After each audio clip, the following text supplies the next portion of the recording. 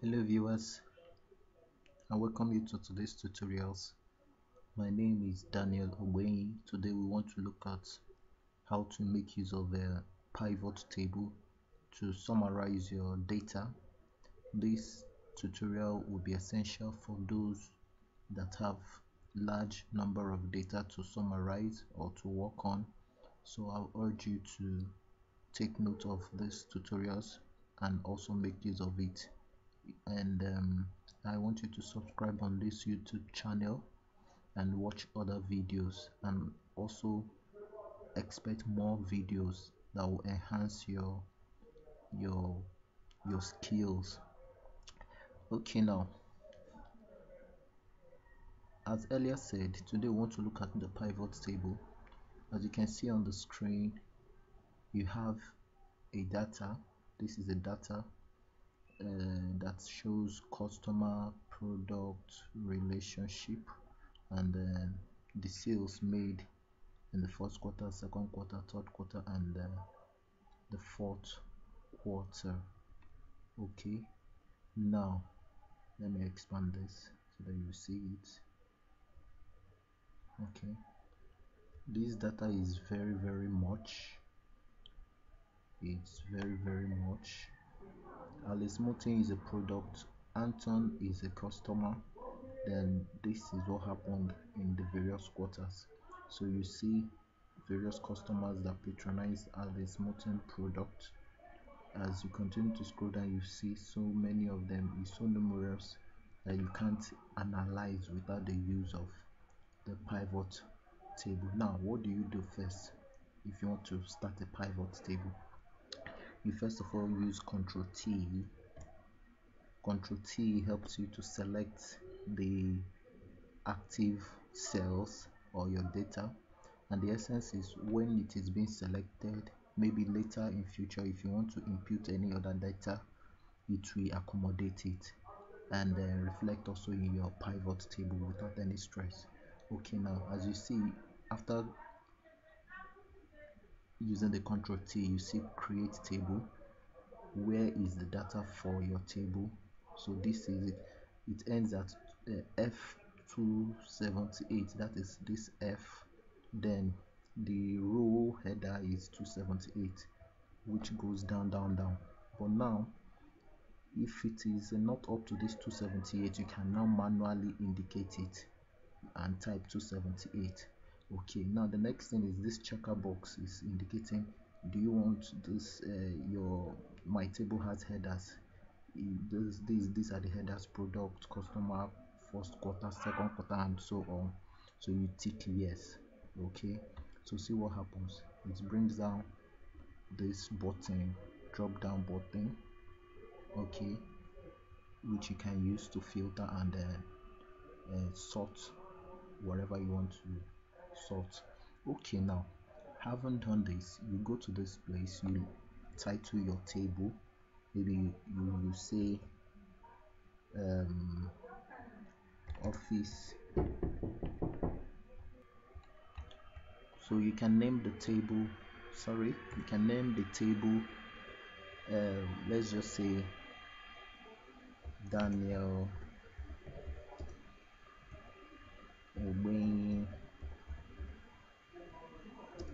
data. Data. Okay okay. Sorry. There's no space. Daniel. Daniel OGB and YI Ogbenyi data. There's no space. Okay. So now this is the name of the table Daniel Ogbenyi so now what do you do? You come to this sheet you name it source data. You name it source data. Then you come to this sheet too. You can call it product pivot table. You can come to this third one and name it customer pivot table the essence is that we want to analyze the product and we want to analyze the customer okay so that we'll know we'll have a summary of what has happened. Okay now what next do you do after that? Okay you go to your insert okay you come to the pivot you click the pivot you can see select a table okay no this one is okay. Then you come to this one is okay you use the existing sheet. So don't click ok yet. You come to this table you want to analyze. That is the product pivot table. You click on it. Then you click ok. Sorry. Coming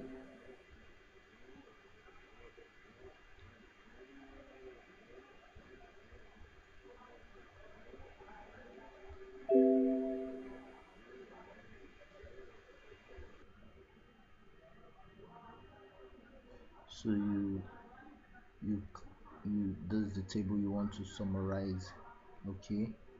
You click on pivot table okay? Then uh, you come here you click on the existing sheet okay?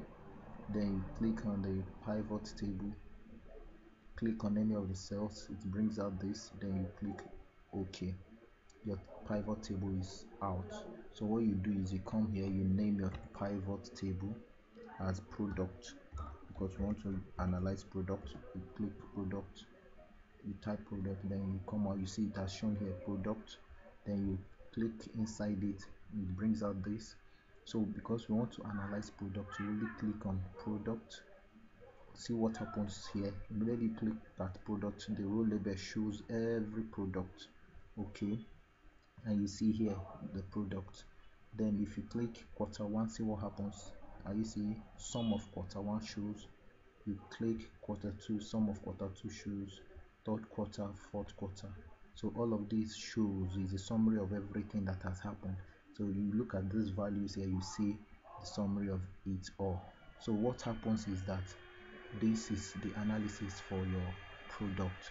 Okay? So now let's filter what happened in a Allesmorten product okay? You deselect all you deselect all and you select only Alice Allesmorten you click ok are you seeing? So it means that Alice Allesmorten in the first quarter this was the sum the revenue generated. This was the revenue generated in second quarter. This was the revenue generated in third quarter and so on. So that is how you get the data for each of the product okay? You want to so it will save you from unnecessary stress of uh, you know going through the whole of this looking for Allesmorten and Allesmorten no so now we want to go to customer okay? We want to analyze customer. So what happens is that you do the same you click on the customer you click on insert you create a pivot table okay so the pivot table for customer here you come to you click on the existing worksheet then you click on customer because that's where you are heading to. Then you click on any of the cells here it reflects here then you, you click ok. Then you name this customer okay customer. Okay customer. So then what happens? Are you seeing it shows customer? You click here so you select customer this time around first quarter what happened? Second quarter what happened? Third quarter what happened? Fourth quarter that's all. So now let's filter and see what happened so far. Let's try this customer what happened in the first time okay? When you come here you deselect you select only the half key you say okay. So what happens in the first quarter this was what half key bought nothing nothing nothing nothing. The, the third quarter the last quarter was 900 and so now you can add anything you want. You can insert anything you want. Um, if it is here maybe you want to indicate the currency okay. You can use dollars okay. You can come to this you click and are you seeing this is showing euro you can click on this it shows dollars. So there are many things you can do to it. You can also plot graph but it will be in the next video whereby you watch how to plot a graph on pivot. Thank you for watching. I remain daniel omoyo bye for now